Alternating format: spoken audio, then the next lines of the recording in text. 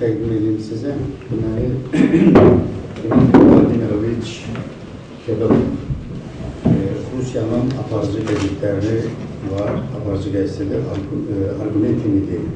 Hemen gazetin e, dahil e, olduğu holdingin e, baş direktörünün muavini aynı zamanda Argumenti Ruh adlı e, sayt var. Hemen saytında baş redaktör. Rusya'da tanınan jurnalistlerden biri değil. Moskva Dövlət Universitetini bitirib, ondan sonra e, bir müddət çalışıb, e, o vaxt e, Sovet İttifaqı Teleqraf Agentliyi vardı, TAS dedilər, SİTAN. Bir müddət orada çalışıb, sonra Maltada SİTANın xüsusilik biri kimi çalışıb, Peki çoxlarının da bu yadındadır, məşhur Qarbaçov və Bush görüşü oldu. Həmin görüşü Rusiyada işıqlandıran jurnalistlərdən biridir. E, ondan sonra qayıdıb bir müddət e, çalışıb Turk qəzetində, Turk qəzeti çox populyar qəzetlərdən biridir, indi də sonra bu Argumenti Fakta Rusiyada çox məşhur e, holding var. o qəzetdən kollektiv ayrılandan sonra bir banki aldı Argumenti Faktını. Ondan sonra bu kollektiv oradan ayrıldı və özlərinin həmin o Argumenti Nedeli qəzetini yaratdılar. İndi Rusiyada ən populyar qəzetlərdən biridir. Dima orada həm də deməli saytın dedim baş redaktorudur. Azərbaycanla əlaqələr ondan ibarətdir ki, bizim yeni nəsil jurnalistlər birliyi var. Arif Əliyevdə keçdirsiniz. Onunla bir yerdə oxuyublar bir auditoriyada. Azərbaycanda ikinci dəfədə olur. E, Biz keçən Bakıya gələndə Dima ilə tanış olmuşuq. Azərbaycanı sevən insandır. Ədalətli, dürüst adamdır bütün jurnalistlər kimi. Yaxşı jurnalistlər kimi. Və eyni zamanda biz biraz da onu özümüzə yaxınlaşdırmaq və özümüzü də e, ona yaxınlaşdırmaq üçün e, bizim hörmətli rektorumuzun təklifi oldu ki, deməli Fedotov biz dəvət edib bizim universitetin kollektivində görüşsün və çox sağ olsun ki, bizim e, deməli təklifimizi qəbul elədi. Так что, Дима, я вас представил. Достаточно, достаточно хорошо хвалил вас. Ваши Пару, деятельности. пару слов я понял, мне понравились. O zaman şeyde başlasın. Sonra ben plaketi verirken konuşurum. Olur, olur, olur. Əgər etiraz eləmirsinizsə biz onunla danışaq. Buyurun. Itiraz eləmirsiniz ki? Значит, мы договорились так, формат. Э, Вы будете э, нас проинформировать о сегодняшней состоянии или основные тен- э, э, тенденции развития российской прессы сегодняшний день, где-то минут 10, 5-6, как хотите, а потом будут наши вопросы, и мы вопросы будем задавать вам. Хотите, отвечайте, хотите. Хорошо. На первый вопрос уже надо ответить. Ну, конечно, а мы будем говорить о тенденциях развития вообще средств массовой информации, это может быть очень длинный, очень долгий разговор, это понятно. И в течение там двух-трех минут все тенденции охватить это невозможно, но в принципе они прослеживаются. Если просто говорить о развитии, о том, что происходит сейчас. Ну, естественно, как в свое время говорили, э, как сказал один великий человек, что из всех искусств является главным кино, но потом главным э, из всех это самое СМИ стало телевидение, потому что у него самый широкий охват, потому что это самый демократичный как бы такой из видов э, самое, средств массовой информации, телевидение есть у всех, телевидение есть в каждом доме и так далее. Ну, легко понять, что в этом плане э, государство м, как бы м, контролирует фактически все телевидение. В основном телеканалы э, в России являются либо государственными, либо находятся под серьезным таким э, государственным контролем, и поэтому политика там, она, в общем-то, ясна, она предопределена в сферах, э, в сфере радиожурналистики, в сфере печатной газетной журналистики и в сфере очень быстро, просто невероятными темпами развивающейся, это в сфере интернет-журналистики. Свою аудиторию больше всего из-за того, что они сталкиваются с проблемами финансирования. Проблема финансирования возникает от того, что один из главных печатных СМИ за счет того, что рекламодатель уходит все больше и больше в интернет. На этом, кстати, теряет много и даже и телевидение. И интернет, э, и с тем, что ну, ежегодно легко понять, э, до какого-то времени, еще недавно говорили, ну, ребята, ну, что такое интернет-журналист э, к интернету, но сейчас их уже 40 миллионов, фактически, это самое третье всего населения. Это в России? На России, да, 40 менее серьезно. Но каждый год происходит процесс, когда на пенсию, в общем-то, выходит огромное количество людей. Увеличивается, увеличивается за счет людей опытных, умных, за счет людей как бы интеллектуально это самое, развитых, которые становятся самыми активными. И потом в интернете ты даже не понимаешь, с кем идет общение, когда ты общаешься с людьми, ты, ты не знаешь, это напротив тебя интернет-журналистики. Э, в России, например, я не знаю, как вот насчет этого здесь именно в Азербайджане, в России э, есть одна серьезная проблема, связанная с ежедневными газетами. Вот сам по себе институт газет ежедневных, он фактически исчез, фактически вымер. В России как таковых нет. Выпускать ежедневные газеты очень дорого. Тиражи, как правило, небольшие, приходится печатать. Э, доставить их по всей стране невозможно. Поэтому приходится печатать во многих пунктах печати. Э, получается, что небольшие тиражи надо печатать в разных городах. Это безумно дорого, для себя не окупает, это не оправдывает. Поэтому все больше и больше вот последние два десятилетия шел уход в сторону журнала, печатная журналистика уходила в сторону еженедельных газет. Ну а вот этот вот между этими, между вот выходом этих еженедельных газет, все информационное пространство в основном заполнялось телевидением. А теперь функции ежедневных газет все больше и больше стало заполнять брать на себя интернет-журналистика. Это большая довольно аудитория, это теперь большая рекламная поддержка, потому что рекламодатели поняли наконец. Э, кстати, забавная одна вот вещь вот, насчет того, когда я сказал, что существует такой как бы, подход и предубеждение, что это дело молодых интернет, Э, до сих пор даже вот э, такие мощные организации, как Gallup, которая меряет аудиторию всех изданий, э, когда они замеряют аудиторию нашего, нашего издания, например, там, уникальных посетителей и так далее, она не совпадает с нашими счетчиками. Ну, это все просто, у нас тоже стоят счетчики, мы знаем, сколько у нас посетителей и так далее. Когда мы смотрим, она не совпадает, она несколько меньше у Gallup, мы начинаем разбираться, почему, а в чем дело, почему такой разнобой в цифрах.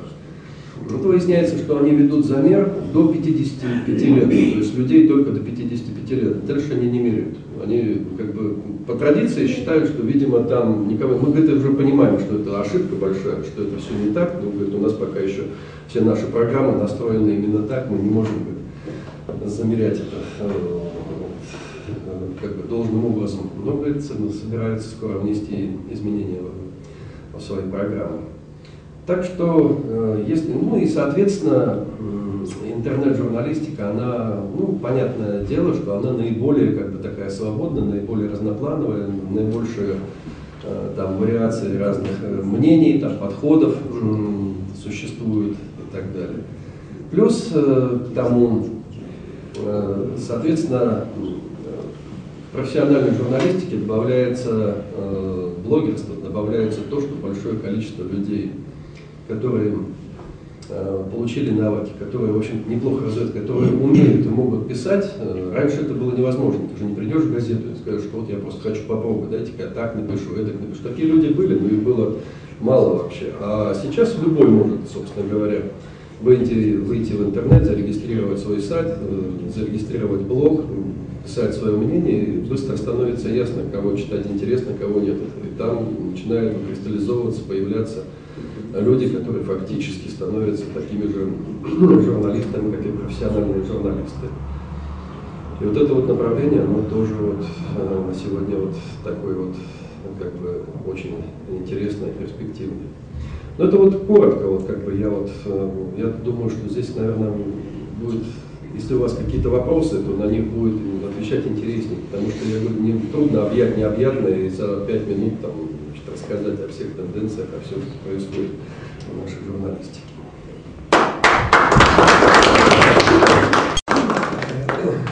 Şimdi isterseniz soru cevapla başlayalım. En son ben sözümü söyleyeceğim. Buyurun. Можно про политику? Да. Сразу? Да. Немножко небольшие волнения, если называем наших в России. Да. Это серьезная очень нищета. Насколько понимаю, что период социализм, справедливая Россия, ну, если вот участие вот, правых сил Конечно. Э, Дело в том, что они там участвуют? 50 процентов на 20. Ну, конечно, это трудно. Дело в том, что то, что вот сейчас происходит, вот это вот протестные значит, акции, которые идут в России, они несколько необычны, они совершенно необычны. Это участвуют не те люди, которые, у которых не хватает денег, не те люди, у которых нет, там, у которых обманули жильем или у которых не хватает там, на еду. Это люди, которые просто э, оказались недовольны тем, как, как мы живем, как управляет страна, как она развивается, что, что, возможно, тем, что у нее нет ясно каких-то очерченных, понятных планов там, и так далее. Поэтому вот те митинги, например, которые сейчас происходили, которые будут происходить дальше, по всей видимости, там это уже процесс остановить очень сложно. То, что было на Болотной площади, то, что было на проспекте Сахарова, там ведь э, получилось все наоборот. Ведь интересно, поводом для них послужили фальсификации на выборах, когда, значит, это самое очень большое количество голосов от других партий было э, перетащено как бы в партию власти, в Единую Россию. Но ведь это было только поводом, ведь и не парламентские партии, не те партии, которые забрали голоса, стали инициаторами этих митингов. То есть на них пошли люди совершенно, э, совершенно разные, абсолютно разные. Там очень большое количество было просто интеллигенции, просто большое количество вышли там. Вот, э, я знаю, что просто из газет люди пошли не только как журналисты, а просто пошли как там можно было прийти и встретить очень много знакомых людей, которые вышли сказать просто, что мы недовольны. Мы просто недовольны тем, как развивается страна. Я говорю, если перевести, там даже не было какого-то ведь ярко выраженного или четко очерченного какого-то политического требования. Конечно, требовали, это самое, было требование проводить честные выборы, это понятно. Но вообще, если перевести вот просто на нормальный язык то, что там происходило, это просто вот как народ вышел с одним лозунгом, что ребята, вы достали, так жить нельзя, мы недовольны, что-то надо делать. То есть вот и там участвуют как и правые, как и левые. Протестный электорат. Протестный электорат. Это и есть тот самый пострадавший, который в этих выборах участвовал. Перед выборами мы проводили опросы, ведь опросы тоже такая очень интересная вещь, когда опросы проводят э, крупные, известные государственные конторы, но не государственные, скажем так, независимые исследовательские центры, но кто заказчик? Когда одни и те же исследовательские центры дают свои цифры на телевидении, там звучат какие-то цифры, цифры примерно одинаковые, но заказчиком является, как правило, ну, правительство, это администрация, там, это самое президента и так далее. Соответственно, эти цифры, вот, вот, вот они есть, вот они даются. Но проводятся независимые опросы, которые абсолютно близко не показывают э, тех, э, того, того, что было там. Э, Причем цифры довольно убедительные. Например, вот э, мы в своем издании поставили опрос, как только стали известны все партии, которые будут участвовать э, в выборах, мы поставили сразу опрос, а за кого вы проголосуете? Ну так, как это в бюллетене. Ну и дали еще один вариант, что вообще не пойду на выборы или испорчу там это самое бюллетень, поскольку у нас раньше было голосование еще против всех, а потом этого не стало. Вот все эти варианты. И вот, судя по тому, что мы ставим вопросы постоянно, мы уже знаем вот эти тенденции. Когда набирается уже человек 300-400 в вопросе, уже появляется четкая тенденция, потом цифры, они очень мало меняются. В дальнейшем у тебя тысяча, две тысячи, пять тысяч, десять тысяч опрашиваемых, это примерно те же вот цифры. И вот, судя по этим цифрам, значит, у нас вырисовывалось огромное количество, хотя мы не являемся там ни коммунистическим изданием, ни прокоммунистическим, там, ни сочувствующим коммунистическим идеям. По всем опросам, которые проходили вот так, вот таким образом, э, как бы по всей России, получалось, что примерно, м, значит, около где-то там 47-49% собирались голосовать именно за Компартию. А поскольку мы дали, давали возможность не только проголосовать, но и объяснить вообще людям, просто прокомментировать, а почему, то преобладающие в 80-90% случаев э, комментарии были такие, что не разделяли идей, например, не хочу голосовать за Компартию, но других вариантов нет. Это единственный вариант у меня выразить как бы свое несогласие. Или там, как у нас один там читатель писал, говорит, в страшном сне не мог себе представить, что через 20 лет меня вынудят голосовать да, за коммунистов. Это было, это действительно было, вот все, весь про- протестный электорат ушел туда, потому что даже со справедливой Россией было непонятно, дадут ей попасть э, в парламент или нет. Это тоже первая партия, Россия, справедливая Россия. Отчасти левая, хотя она изначально создавалась э, как бы именно э, в Кремле и создавалась где-то, чтобы оттянуть какую-то часть электорату КПРФ, но потихоньку она, да, вот как, как Пиноккио превратился из деревянного настоящего мальчика, потихоньку эта партия стала реальной партией, ушла еще в какую-то реальную оппозицию, поэтому ее чуть было вообще не разгромили перед выборами. Но тем не менее, вот э, люди именно как протестные электорации. Как вы считаете, почему в России не формируется какая-то правая партия, либеральная, демократическая, правая партия, независимая? Прежде всего потому, что в России...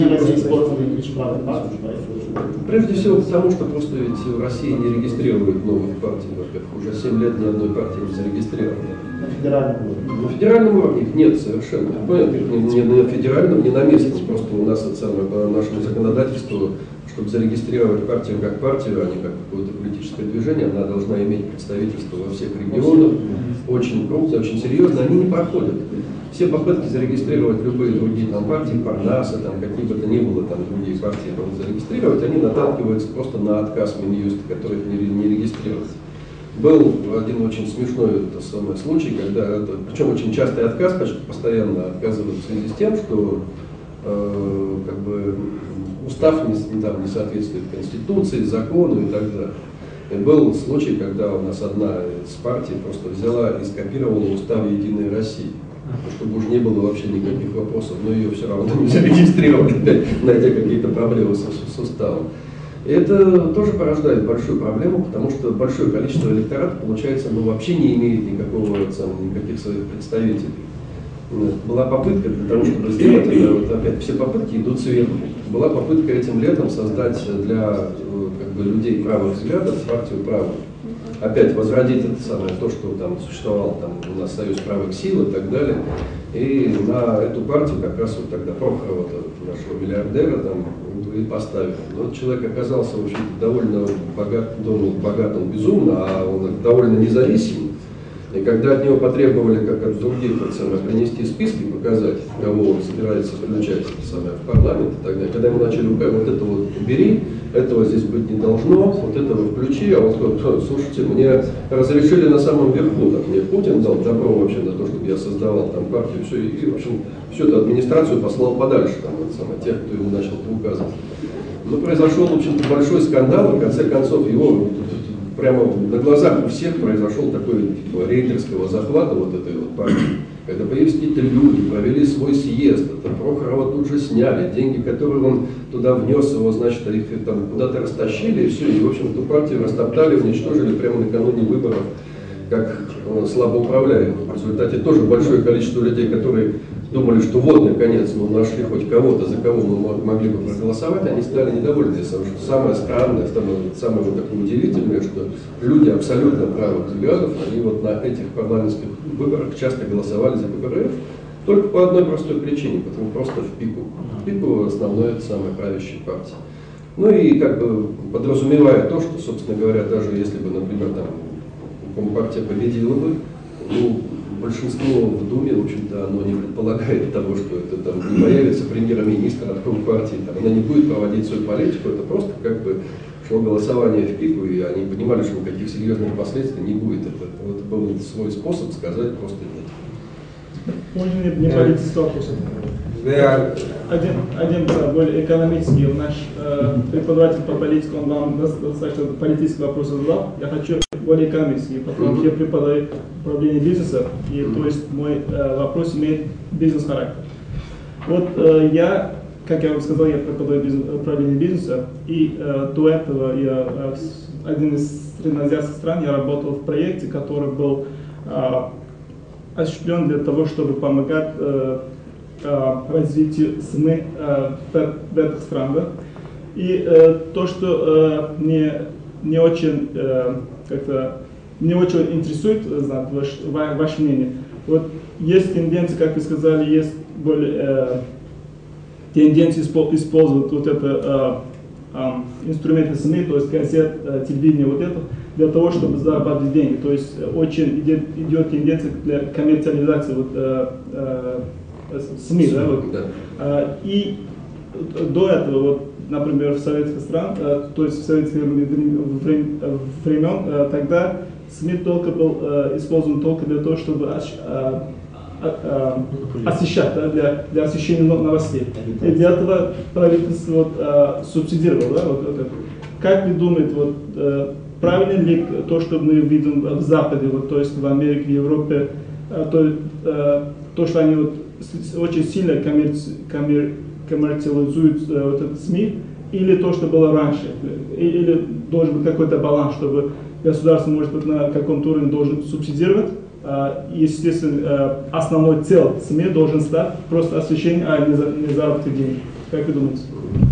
Ну, смотрите, как бы вот э, то, что было еще в советские времена, естественно, это газета, как у нас известно было, там, ну, основное там СМИ, это газета, как тогда еще партия ставила, как Ленин ставил эту задачу, это был кто? А Это даже, даже не информирование, не освещение событий, это была вторичная уже функция, дополнительная. А главное это было это агитация, организация, пропаганда и так далее. Вот, вот что стоит, в общем-то, часть пропагандистского аппарата, на который выделялись средства просто из, из бюджета, поэтому это вообще никакого отношения ни к коммерции, ни к бизнесу не имело. Когда наступила эра э, частного бизнеса и так далее, то есть вот начал, начался тот процесс, о котором вы говорите, называют коммерциализацией. Именно когда э, уже существующие СМИ, которые, в общем-то, все были глубоко убыточны, ну как они могли не быть убыточными, если, собственно говоря, им не на чем было зарабатывать. Продавались все издания, там, ну вот, как бы все тогда, там, труд там за 3 копейки, там, правда там за 4 копейки и так далее. То есть оккупация продажами они не могли, то есть в основном, в основном издании никак. Рекламы никакой не было никогда, и такого источника доходов тоже не было. Получается, что все они финансировались извне. И начался процесс тогда как зарабатывания денег. Причем многие СМИ начали куда-то выходить, они там вчера были государственными, а тут стали какими-то частными, там начали акционироваться, еще что-то. И вот выяснилось, что жить-то они не могут, потому что они просто ну, не привыкли. Раздутые огромные штаты иногда вообще, где там работает там 500 там, человек, там где в западном здании работало бы там 30 или 40 вообще. Огромные какие-то здания и так далее. То, что досталось наследство от Советского Союза, это было очень тяжело как-то вытянуть. И Буквально, если вот э, подойти вот к таким вот э, старым изданиям, изданиям с историей, то в России буквально по пальцам можно пересчитать издания, которые действительно являются прибыльными. Э, Для этого должен быть ну, несколько факторов. Должно быть, должен быть огромный тираж. То есть тираж реальный должен быть, ну, где-то от, наверное, 700-800 тысяч, иначе просто экономически никак не получится, иначе просто на рекламе вы не сможете заработать. Но таких изданий их не так много. И, в общем, вот этот э, как бы, процесс, он, он был неизбежен. Ну, то есть это самое, э, новые издания, когда начали создаваться, они уже начали создаваться на основах какой-то каких-то коммерческих, их стали пытаться строить, стали пытаться делать как бизнес. Но до сих пор ну, большая часть вот, существующих ныне изданий, их, они кем-то финансируются извне, куда-то добавляются какие-то средства.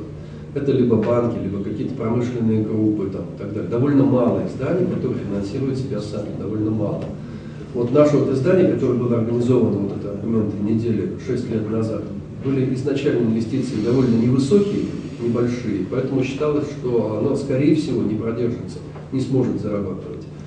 Но смогли, вот просто смогли, потому что собрался вот опытный коллектив там, из АИФа, из труда, еще откуда-то людей, и сразу был сделан большой упор на, на зарабатывание денег на рекламе, на какое-то оптимальное выстраивание какой-то оптимальной структуры вот, э, печатания в регионах, чтобы не было там сильно убыточно и так далее.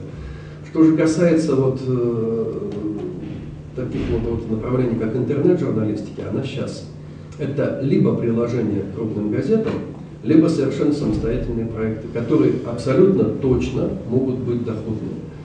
Это я могу сказать просто на основе своего собственного опыта, потому что когда три года назад я взял, в сайт, который просто был копией газеты, э, шел разговор о том, что, ну, сразу говоря, а сколько денег нужно на то, чтобы его просто попытаться поднять и сделать самоокупаемым и так далее. И, в общем-то, нисколько. Фактически без денег. Если бы были деньги, то, наверное, было бы быстрее. Но не факт, может быть, к этим деньгам легко привыкнуть, и он просто не стал бы этот проект э, прибыльным. На мой взгляд, все-таки выстраивание э, медиабизнеса как бизнеса – это более правильный подход, чем значит, попытки искать какое-то финансирование со стороны. Когда ты получаешь финансирование со стороны, ты автоматически становишься ангажированным именно, именно той стороной, которая финансирует. Если тебе дает деньги государство, то никто не будет кусать руку, которая, в общем-то, тебя кормит. И на этом нарушаешь э, основной принцип журналистики. И на этом, да, просто ты уже начинаешь молчать об этом, не говорить об этом. Ты Станешь агентом этого независим. олигарха, да? Да. А если правительство э, э, субсидирует, правительство финансирует, не станет ли газета агентом правительства, этого правительства, то, то есть который э, станет силу, например, сейчас вот э, Единая Россия, вот, скажем, правительство России, да, вот, они э, представляют, не является ли, э, не является бы, если вот, э, если правительство, правительство вот, профинансировало все э, СМИ, не являлся бы он э, агентом, то есть этого правительства. Как вы думаете? Bu çok ince mesele. Şey, Ya için isteyeyim. Ferit sen tercüme edersen. Biz bu yakında seminer geçirdik e, burada. Medyanın iktisadi əsasları Rüstəm Əliyev Çişmədi, Amerika, Türkiyə təcrübəsindən danışdı. Medyanın qorxduğu üç e, böyük bir güc var. Bunun biri reklamdır, biri PR'dır, bir də təbliğatdır. Təəssüf ki, Rusiyada da, ümumiyyətlə MDB ölkələrin əksəriyyətində də belə, sosializmin şinelindən çıxmış ölkələrdə bunlar qarışır. Təbliğatda, PR-da falan. Niyə? Çünki iqtisadi cəhətdən müstəqil deyirlər. Ona görə də məsəl üçün e, indi mən istəyirəm deməyə sual verir ki, e, demək, я хочу вас э, спросить, вот в России появились очень многие именно вот э, медиамагнаты, Усманов и другие и так далее. Я хочу узнать, они действительно являются магнатами, имеют огромный денег, или за ними кто-то стоит? Потому что это очень серьезный вопрос, э, оно касается и некоторых других э, стран Советского Союза бывшего. Э, идет вот, медиа не идет по своим путем.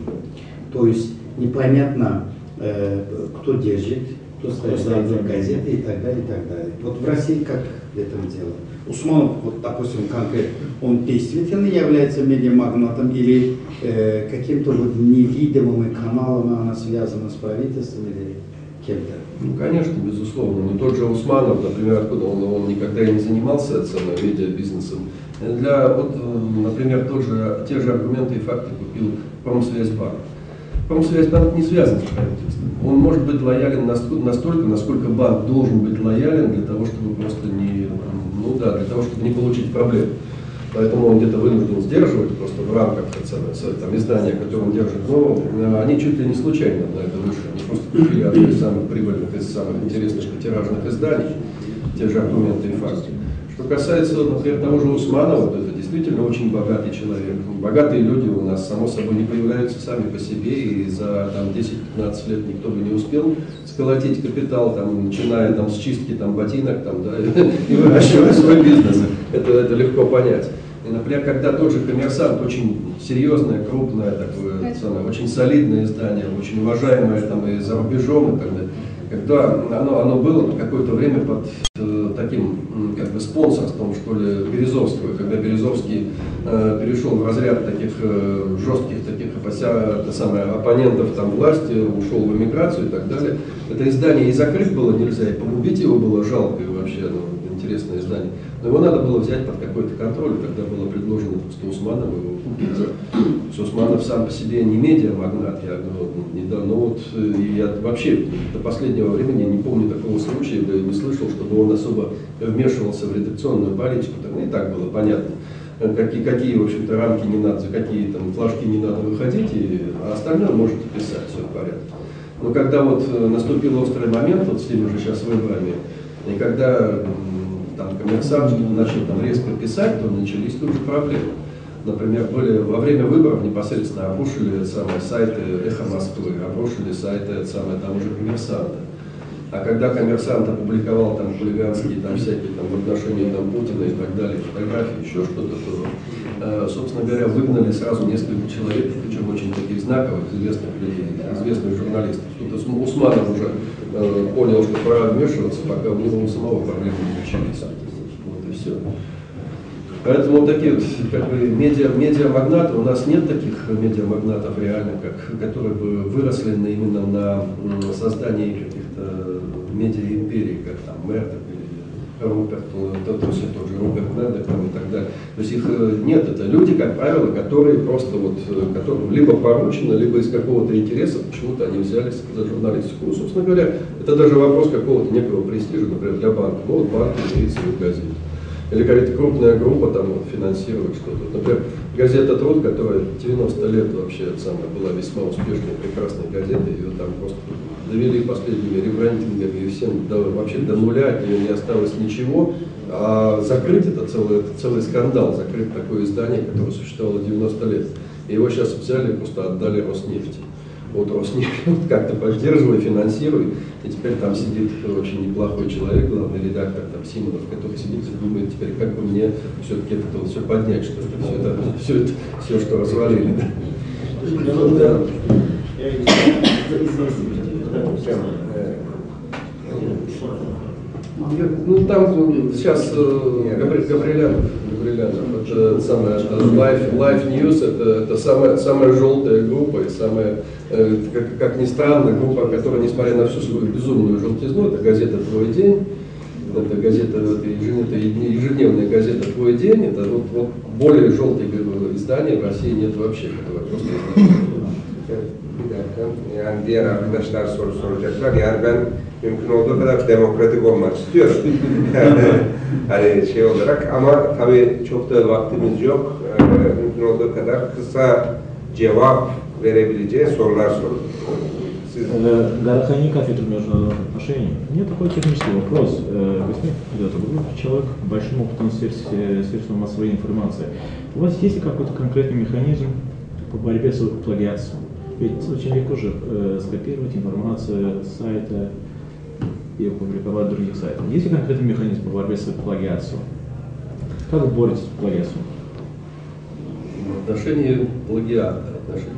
Э, Сейчас э, безумно распространено, то есть вообще, если брать первоначальный источник информации, если брать просто источник информации, как правило, они настолько узки, это, это буквально вот какие-то несколько там, информационных агентств или тех изданий, которые по той или иной причине оказались близки к каким-то событиям. А дальше все СМИ, как правило, начинают переписывать друг друга, что-то компилировать, что-то туда добавлять, что-то там оттуда убирать вообще. Ну, это как бы нормальный процесс. Если, например, издание узнало о том, что что-то произошло, прочитало информацию о том, что что-то, и спутник, там, Фобос Грун, да вот что там, все понятно, вот там самое, не, не- ушла ракета куда-то на Марс, все там упало и так далее. Э, И идут, э, соответственно, значит, информация там идет от каких-то крупных агентств, тут же там от РИА Новости, еще что, ну, что-то. А дальше ты можешь взять и начать анализировать, добавлять туда что-то свое, рассмотреть всю историю там, неудачной космонавтики или, или получить какое-то там, да, ну, интервью там, у кого-то посмотреть, какие сейчас тенденции развития, как из этой проблемы выходить. так. Но есть и просто банальный плагиат, когда, в общем-то, не заморачиваясь, совершенно берут одно издание другого. Это особенно развито в интернет-журналистике. В газетном деле это скандал, хотя тоже совершенно обычное дело, когда мелкие издания в регионах, в городах, они берут просто из крупных изданий что-то и все оставят. Когда-то с ними судятся, когда-то не судятся. Как правило, сейчас издания сами начинают думать и определять политику, а что нам делать с теми, кто у нас э, перепечатывает. Вот мы у себя, например, на сайте поставили, ну, такой, у нас такой подход, мы обсуждали с генеральным нашим директором, долго обсуждали, ну, как вот строить нашу политику в связи, когда таскают материалы, берут материалы у нас. И мы пришли к такому значит, выводу, что материалы интернет-изданий наших, которых очень много, выпускаем в большом мы разрешаем копировать э, даже без э, нашего разрешения, а только с уведомлением. Но только с одним, с одним обязательным условием, что должна быть активная ссылка на нас, должно быть указано, откуда это взято, и должна быть возможность, нажал на, это самое, на ссылку и попал на наше издание непосредственно. Если это условие соблюдено, то берите, ради бога, в принципе, вы нас рекламируете. А вот как бы серьезные бывают эксклюзивные интересные материалы газеты, крупные, большие, там, вот, печатные там, газеты, где, над которыми долго много там работали журналисты. далее. Там все-таки надо получить разрешение на перепечатку, которое тоже, как правило, дается. Если нет ни того, ни другого, в интернете это просто. Тогда отслеживают у нас, есть люди, которые просто иногда отслеживают и видят, смотрят, наши материалы вышли там, наши материалы вышли тут. Мы обращаемся и как бы настоятельно так просим и рекомендуем поставить ссылку на нас, соблюсти, чтобы условия вообще. Ну, если этого не будет сделано, то мы подаем в суд, но это крайне редко бывает. Дмитрий, извините, я не знаю вашего отчества, забыл, я не забыл. Дмитрий Владимирович. Дмитрий Владимирович, я хотел вот такой вопрос спросить. Из того, что вы сказали насчет вот первого ответа, насчет политики и ситуации в России, стало ясно, что э, фактически, хотя и КПРФ оно занимает как бы э, приоритетное положение в протестном движении, но сам лидер не занимает этого положения. И э, хотелось бы просто знать, э, могли бы вы выстроить вот какой-то э, такой э, приоритетный ряд лидеров, и какое место в нем занимает Навальный, которые могли бы действительно что-то, вот, от которых э, народ мог бы что-то ожидать. Или нет таких людей? Сложный вопрос. Э, Понимаете, у нас так интересно разделена, э, вот я говорю, оппозиция, у нас есть такое понятие, это Медведев не раз говорил, системная оппозиция, несистемная оппозиция. То есть даже такое странное какое-то понятие само по себе. То есть системная это, опять же, если все упростить до предела, то системная это та, которая находится в контакте с Кремлем, с которой всегда можно договориться по важным вопросам. То есть вы, ребята, можете критиковать там, министра там, То есть здравоохранения. конструктивная оппозиция, я Да, так понял, да. у нас то же самое. Вы можете критиковать какого-то министра, вы можете критиковать где-то в чем-то нашу политику, там, ну, ладно, но если вдруг что-то происходит важное, мы всегда самое, вызовем вас и договоримся, и что-то вопросы решим. Есть оппозиция там, несистемная. Это, это те партии, которые не регистрируют, это те лидеры, которые неформальные, которых каким-то образом пытаются везде задвинуть, убрать. Нет партии, нет представительства в парламенте, ну вот и все. И, собственно говоря, где ты, хоть ты кем бы ты ни был, ну, ну вот такие неформальные лидеры, как тот же Навальный, э, они только начинают, они только вот сейчас начинают появляться, потому что в них не было, ну как бы, не было особого спроса, не было необходимости. Э, Если взять э, существующих вот лидеров, вот пос- посмотрите, вот сейчас вот у нас проходили парламентские выборы, там шло протестное голосование, когда голосовали, например, тот самый противовес Единой России, потому что, ну, не противовес даже, ну, во-первых, от недовольства, во-вторых, понимая, что идет фальсификация, все последние выборы каждый раз все более и более э, самое более фальсифицировано, все в большей степени. Это просто вот зашкаливало уже, и вот пошло такое протестное голосование. Но говорю, у всех было четкое понимание, что если я голосую за КПРФ, то я не, не голосую за возвращение там, той системе, там, да, которая политическая, которая была раньше. Это я просто как бы говорю свое нет. Сейчас э, выборы президентские. Там год, они буквально несколько человек. И, собственно говоря, уже совершенно ставится по-другому. Во-первых, все, все люди отобраны, там, там нет ни одного э, реально такого серьезно оппозиционного лидера и в основном не имеющий никаких шансов. А взять того же, например, Навального, ну это в случае какого-то вот, ну, дальнейшего вот обострения ситуации, развития какого-то самого в России не, самое необычного, когда вот сейчас пошли процессы в связи с этими большими э, митингами и так далее, тут неожиданно сразу про- правительство, которое до этого вообще никого слышать не хотело, не хотело идти ни на какие компромиссы, вдруг резко начали сдавать и договорились о том, что и выборы губернаторов можно вернуть, и партии будем регистрировать в упрощенном порядке. Ну, тогда может появиться какая-то политическая жизнь. Потому что нет политической жизни серьезной, то нет и оппозиционных лидеров серьезных. А таким образом они могут появиться. Я не знаю насчет перспектив самого Навального. Очень многие даже вот в том оппозиционном кругу, как к нему относятся по-разному. Трудно сказать, каковы его лидерские качества. То есть э, качество человека, вот, который разоблачал, что-то давал, какие-то там острую какую-то информацию, очень разоблачал там, вот, коррупцию, там, приводил какие-то цифры, безусловно, принесли ему очень большую популярность. Но сможет ли он стать каким-то лидером, это еще пока непонятно. Спасибо. А, У меня такой вопрос, ну, не экономический, не политический. Э, Я бы хотела узнать немножко, а, как обстоят дела в вузах. Есть ли у вас частные вузы? Я знаю, что очень много частных школ в данный момент в России, но насчет э, вузов не очень там много информации, скажем так. И, честно говоря, э, чем занимается молодежь? А, какие у них тенденции, к чему они больше направляются? И вообще заинтересованы ли они больше а, вузами? Заинтересованы они вообще? Я там много знаю, что много иностранцев в России в данный момент в вузах, но насчет российской, российской молодежи много. Я думаю, что, наверное, Наверное, как и во многих других вот таких вот э, странах, то, что, э, бывшего СССР, э, мы прошли через какие-то такие э, очень противоречивые какие-то времена, вот 90-х годов, когда у нас появилось там даже вот какое-то, сейчас есть вот какое-то выпавшее какое-то поколение, тем, кому сейчас там 23, 25 лет, 26, это вообще несчастные ребята, в очень большой, в очень большой массе, потому что они росли именно в тот момент, когда инженер был совершенно никем. Когда, значит, тот самый ученый мог там получать там 3 копейки и влачить какое-то совершенно жалкое существование. Когда тот, кто торговал в каком-нибудь рядом ларьке вообще, он ездил на хорошей машине и так далее. И это было для них очень наглядно. Если для людей как бы старших еще были какие-то подозрения, что так долго продолжаться не может, а что-то в этой жизни должно измениться, для молодежи это было очевидно. Разговор был постоянно о том, что а зачем тебе учиться, кому это вообще надо. Даже способные ребята там уходили заниматься там, не пойми чем, потом ситуация начала меняться. Меняться она стала довольно резко. И пришло осознание того, что без образования хорошего, без хорошей специальности, в общем-то, ничего ты в жизни в этой не достигнешь и не получишь. И сейчас э, отношение к образованию, оно просто радикально изменилось. Оно стало даже, я бы сказал, более таким от как бы трепетным, чем это было во времена еще до всех этих самых преобразований, еще в советские времена. То есть тогда шли ну, учиться многие, ну просто, ну вот, надо, надо получить диплом, надо получить образование. Сейчас человек уже идет, э, понимая то, что значит, он идет получать специальность, он идет строить свою будущую жизнь. Либо он ее себе построит своими руками, либо нет. Тут уже иначе у него другого пути нет.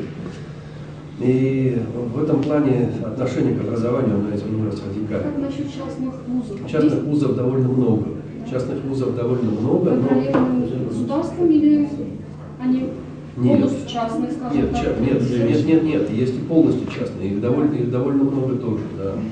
И, в принципе, они живут, ну, они испытывали определенные притеснения со стороны там, государства, да. И потом, э, там ведь какая-то государственная политика все-таки, наверное, необходима, потому что э, если нет какого-то планирования там, самое, на годы вперед, там, понятно, то все бросаются там, сплошь везде юридические факультеты и выходят там десятками тысяч юристы сплошные, которые потом непонятно куда должны себя одевать, то еще там как-то. И, в общем-то, они проходили, довольно сложные были проблемы с переаттестациями, количество этих вузов сокращалось. Есть еще один мощный, конечно, это самый стимул, который далеко не везде, почти нигде на этих самых вузах э, частных нет военных кафедр, и, соответственно, студенты могут попасть, не получить отсрочки, а просто попасть в армию, поэтому есть стимул большой идти туда, где, в общем-то, ты можешь армии избежать. У нас в Азербайджане был такой период, когда частные школы или вузы вообще не считались, скажем так. Если вы закончили частную, частный университет, то вас не так уж хорошо признавали, как государственные. Но мы же перешагнули, скажем так, все это. В данный момент, э, как и наш, как наш университет, другие университеты, уже имеют свой рейтинг в государстве. А как насчет этого? Перешагнула ли именно Россия? Перешагнула ли Россия именно этот период, что вот частные вузы действительно они нужны, действительно они а, дают хороших а, специалистов? На мой взгляд, да. На мой взгляд, да, потому что довольно у нас уже ушло понятие там дипломы там как-то государственного образца, там какие-то какие-то такого второго сорта, там второй свежести и так далее. Сейчас это либо диплом, либо не диплом. А, аккредитованные значит, э, институты, университеты и так далее, они создают государственные дипломы.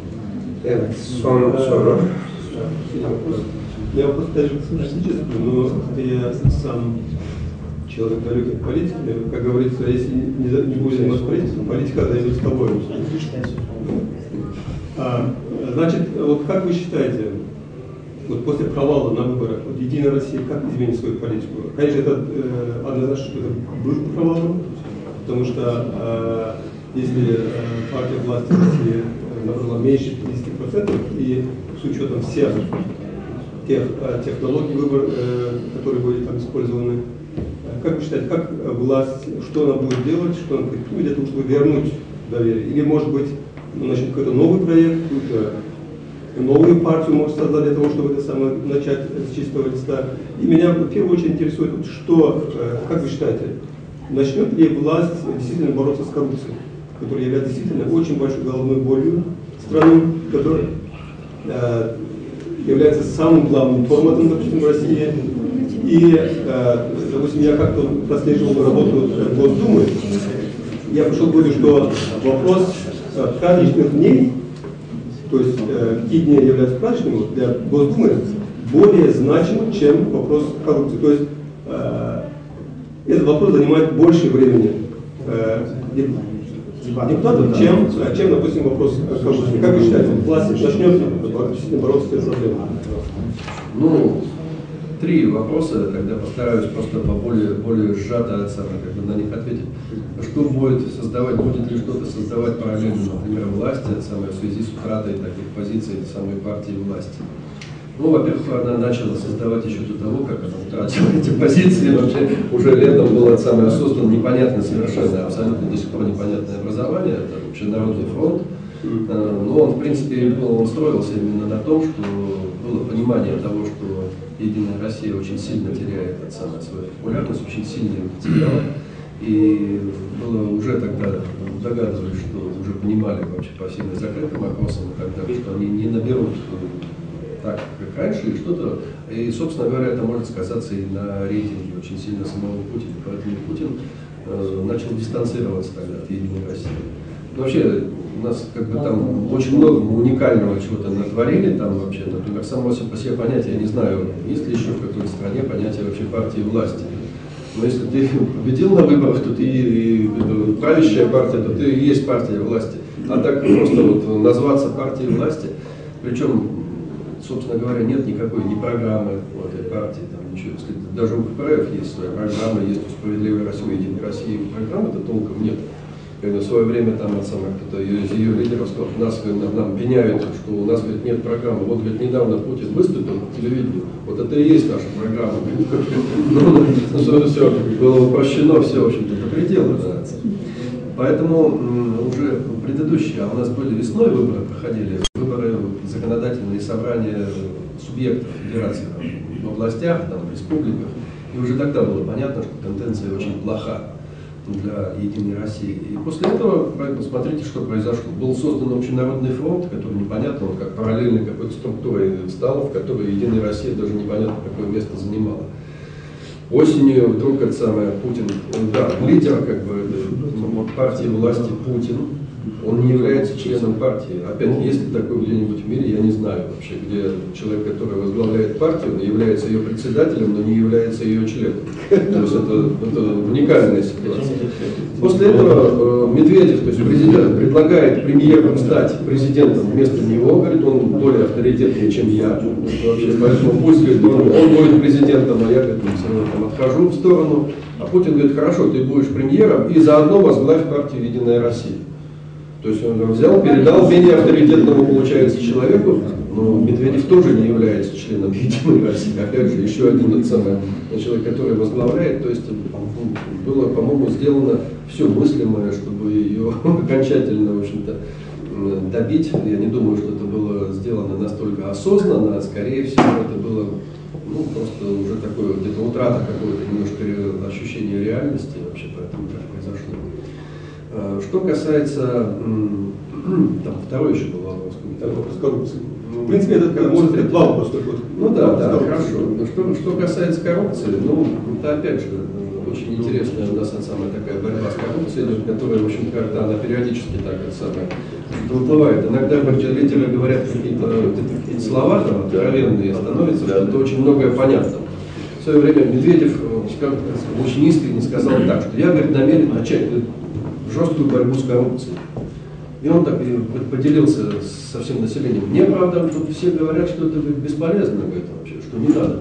Но я думаю, что, может быть, все-таки попробовать. Говорит, это же лучше, чем ничего не делать. А ему говорят, значит, что, что не надо, говорит, вообще, что ты развалишься, что ничего не получалось, ничего не получилось.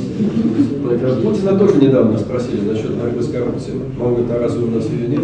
Вообще как же? Вот у нас, я говорит, знаю, несколько тысяч там уголовных дел возбудили, говорит, вообще. Ну вот, вот против каких-то там чиновников какого-то там невысокого уровня.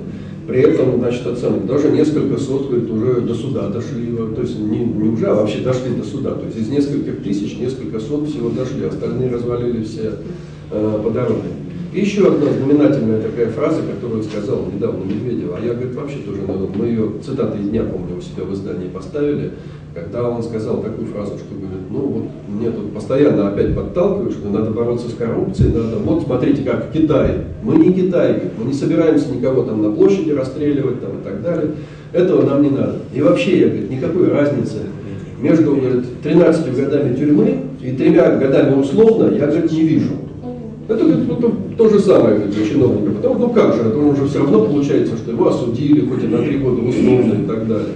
Ну, говорит, это же для него неприятно, карьера у него нарушается там, и так далее. Поэтому ну, все равно, говорит, э, ну, при таком подходе там, к коррупции, там, к борьбе, там, конечно, сделать, наверное, что-то сложно.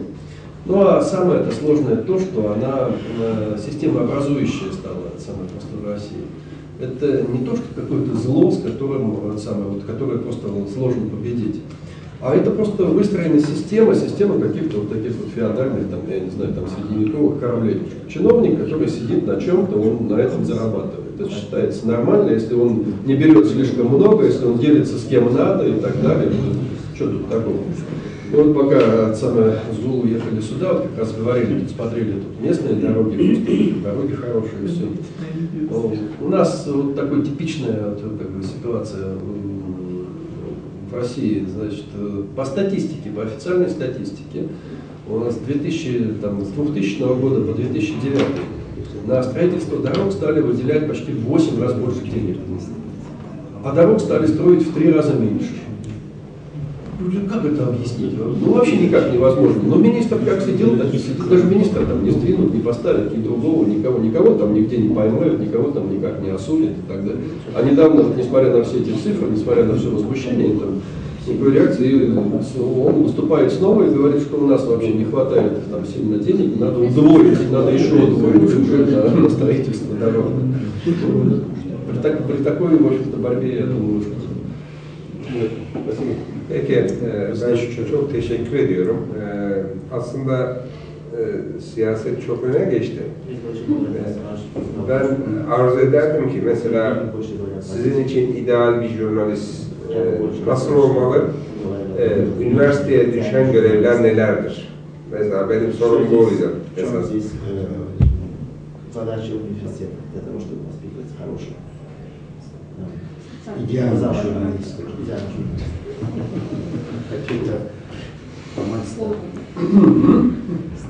Не, ну вопрос, конечно, непростой. Да. Вопрос, конечно, непростой. Но, во-первых, на, на, на, на мой взгляд, вот, просто вот вспоминая, я не знаю, вспоминая свой опыт, как мы учились там, в факультете журналистики, МГУ и так далее.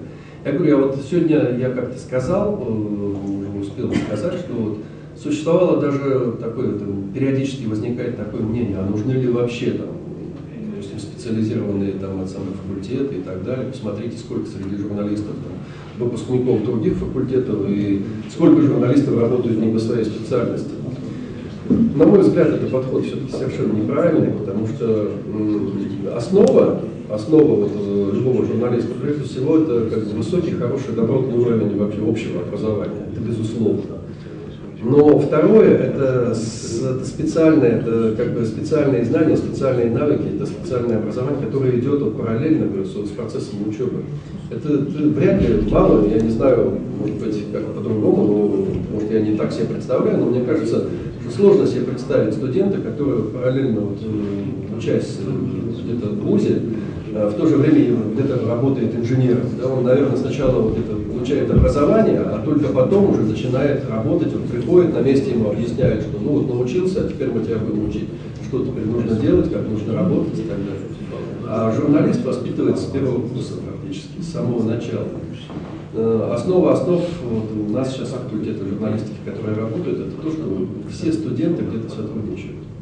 Это вопрос не только в том, что они подрабатывают вообще, там, получают деньги, хотя это тоже важно вообще, это самое, они, но вопрос в том, что они э, работают параллельно с учебой, они получают навыки, то есть получают базовое образование, которое их под- под- поддерживает, укрепляет, и параллельно самое работают.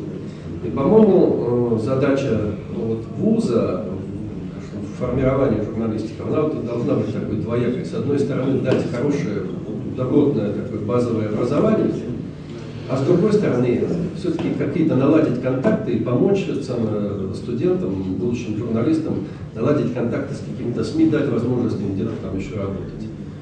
Чтобы они имели такую возможность. Вообще это надо учесть где-то даже в учебном процессе, что на это и время на это требуется, там, и какие-то просто контакты какие-то требуются. И вот эта вот практика, постоянная практика и базовое образование, по-моему, вот это и залог как бы вот э, хорошей подготовки именно журналистов, студентов. Teşekkür ediyoruz. Bir de arkadaşların hazırladığı küçük bir plaket var. Biz bunu sizlere bu günün hatıratına sunmak Сейчас дать istiyoruz. нам небольшой час.